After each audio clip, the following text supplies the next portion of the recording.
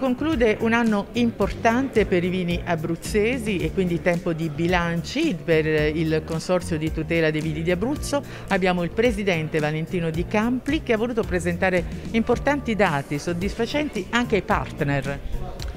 Sì, noi da oltre tre anni abbiamo avviato eh, l'osservatorio mh, sui vini eh, d'Abruzzo che è eh, uno strumento fondamentale per poter mh, avere a disposizione eh, dati attendibili eh, su cui fare poi analisi e costruire progetti di lavoro in termini di comunicazione, in termini di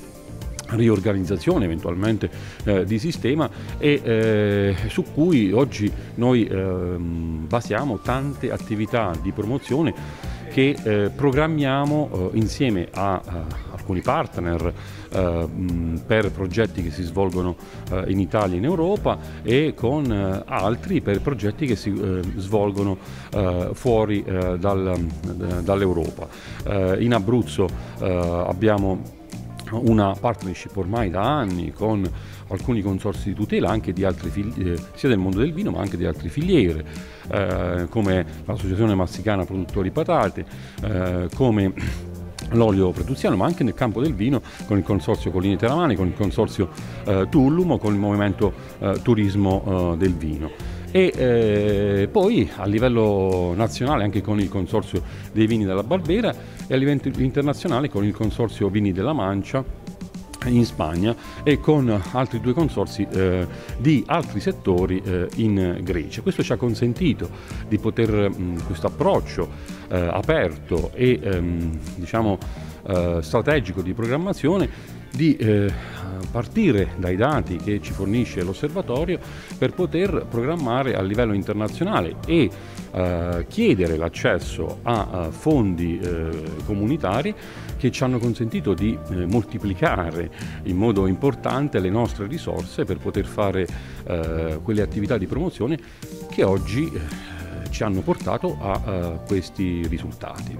Risultato per tutti, insomma, cresce l'export abruzzese. Cresce l'export abruzzese in un anno come il 2021, ancora in eh, pieno Covid, di oltre 15 milioni di euro, superiamo eh, la barriera dei 200 milioni di euro eh, di export.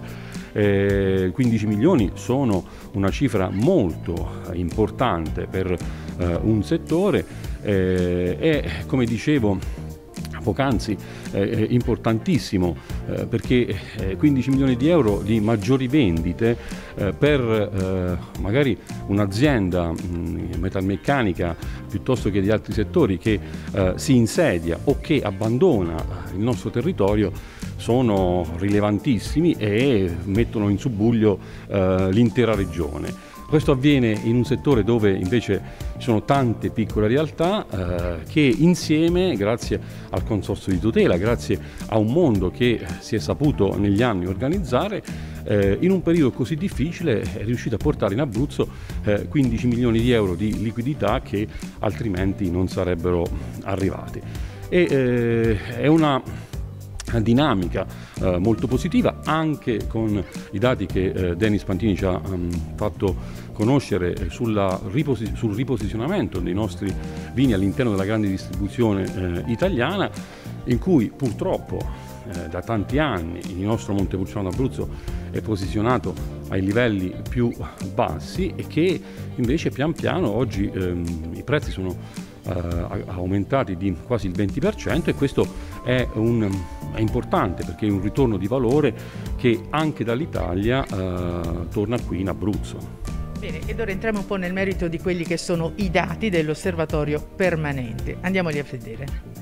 Denis Pantini di Wine Monitor, dunque si conclude un anno, allora si è tracciato un bilancio anche dell'osservatorio permanente che è stato attivato dal consorzio qualche anno fa. Qual è lo stato di salute per quanto riguarda i mercati del vino italiano e poi di quello abruzzese? Beh, diciamo che il vino italiano sta vivendo un 2021 euforico e lo si vede dal fatto che le esportazioni sono praticamente cresciute a doppia cifra percentuale andando a superare la soglia dei 7 miliardi di euro che è un po' il record storico delle nostre esportazioni, ma anche sul mercato italiano eh, c'è un, un recupero della ristorazione così come anche una crescita della grande distribuzione. All'interno di questo quadro il vino abruzzese segue un'onda positiva, anche in questo caso parliamo di di un più 10% nell'export di vino abruzzese eh, dopo un leggero arretramento che c'era stato nel 2020 ma riusciamo così a superare i 200 milioni di, di vendite all'estero. Sul mercato interno anche qui diciamo che le vendite crescono in GDO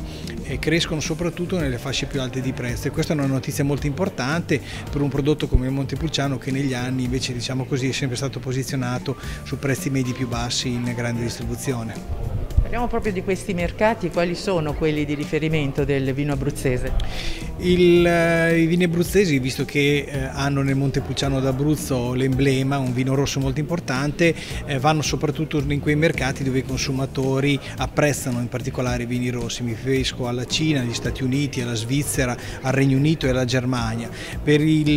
i vini abruzzesi sono soprattutto quattro mercati, cioè Germania, Stati Uniti, Regno Unito e Canada, a fare più della metà di tutte le esportazioni. E sono mercati che sono cresciuti in quest'ultimo anno, nel 2021 hanno messo a segno una bella crescita anche a doppia cifra percentuale, più di tutto è stata la Cina, anche se la Cina veniva da un momento diciamo, di riduzione nel 2020 ma quest'anno eh, ha visto crescere l'esportazione di Montepulciano oltre il 30%. La pandemia in qualche modo ha cambiato l'andamento dei, dei, mercati?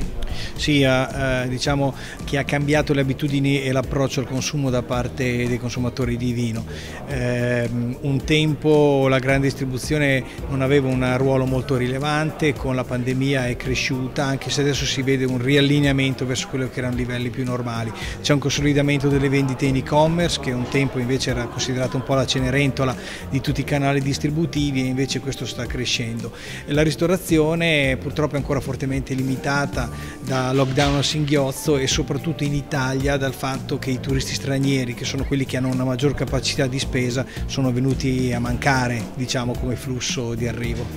Per concludere possiamo dire ottimo risultato per l'export del vino abruzzese. Sì, ottimo risultato sull'export e buon riposizionamento su quello italiano.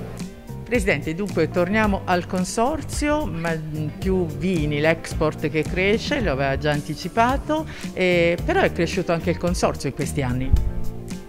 Sì, anche il consorzio è cresciuto grazie alle attività che svolgiamo e che evidentemente eh, i nostri mh, produttori eh, ritengono in linea con le aspettative. Eh, oggi abbiamo anche lì superato una soglia, quella 200, eh, delle 200 cantine associate per oltre 4.000 eh, produttori di eh, uve a denominazione della nostra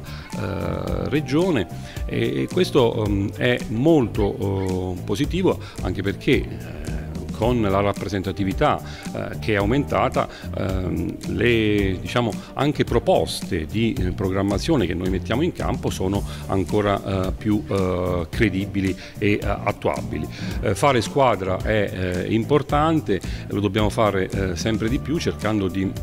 mm, cogliere eh, le opportunità che eh, vengono dall'attuale eh, situazione ma anche cercando di capire che eh, dobbiamo sotto alcuni aspetti evidentemente eh, riorganizzarci e lo stiamo facendo anche partendo dai disciplinari di produzione per far emergere eh, un Abruzzo che seppure considerata una piccola regione ha tante distintività e queste distintività possono essere messe eh, a sistema, evidenziate ed apprezzate eh, soprattutto um, da quel, um, quella parte di eh, consumatori molto esigente, molto attenta eh, e che è disponibile anche a pagare eh, di più il eh, prodotto che ehm, poi possiamo noi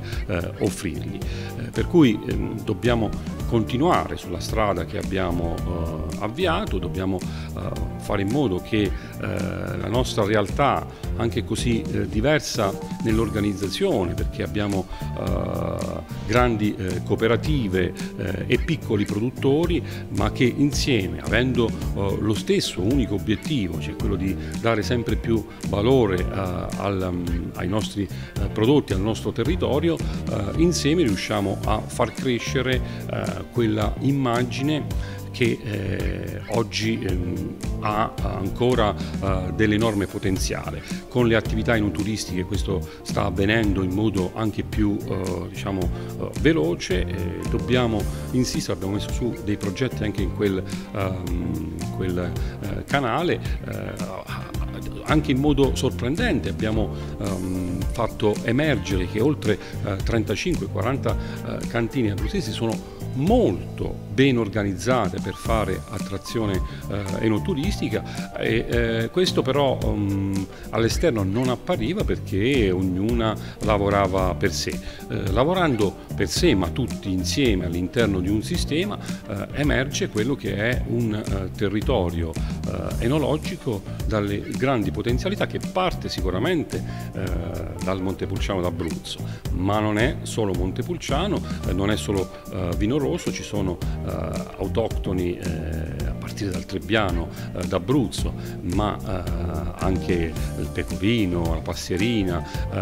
che sono già molto accreditati, ma possono crescere ancora di più per passare al Cococciola, al Montonico, che stanno sempre più destando curiosità in giro e facendo crescere il nostro, il nostro Abruzzo. Tra le attività eh, che si sono svolte nel 2021, considerato periodo di post pandemia, insomma un periodo un po' più, dove siete stati un po' più liberi anche di girare, voi siete stati in giro per il mondo.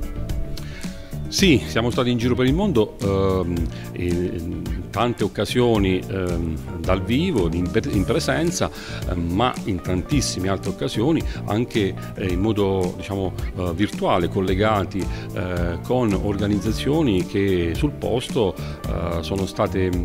gestite eh, da eh, operatori diciamo, nazionali e eh, con collegamenti direttamente qui eh, dall'Italia. Le tecnologie eh, ci hanno aiutato, eh, la ehm, diciamo, capacità organizzativa anche in questo senso ci ha, diciamo, eh, ci ha sorpreso anche da parte nostra, di, no, di noi abruzzesi, quando eh, vogliamo fare le cose ci sappiamo organizzare e quindi anche in questo periodo ehm, siamo riusciti a fare cose che non immaginavamo qualche anno fa certamente le attività in presenza sono fondamentali, con il Vinitali Special Edition diciamo che si è ricominciato con un po' più di diciamo, entusiasmo anche qui eh, in Italia, speriamo nei prossimi mesi, speriamo che si continui a essere molto prudenti e che eh, questa eh, brutta eh, malattia non, non ehm, ci porti a doverci eh, ritirare eh, di nuovo ancora. Però l'Abruzzo è stato eh, capace di, di, emergere in questo, eh, in questo periodo e dovrà, ehm, potrà consolidare facendo squadra anche i risultati che sono venuti fuori facendo squadra, queste insomma sono due parole d'ordine, fare squadra anche dietro di noi nella slide, per concludere il futuro, il futuro del consorzio. Futuro del Consorzio è nella eh, continuità delle attività che sta facendo e eh, nella nel, nella necessità di far emergere, come ho detto prima, poi le distintività eh, territoriali eh, e le identità eh, territoriali, eh, questo attraverso i nuovi disciplinari di produzione che eh, il Ministero sta ehm, esaminando e che auspichiamo vivamente che nei prossimi mesi chiuda il percorso per poter poi fare un lavoro sul territorio che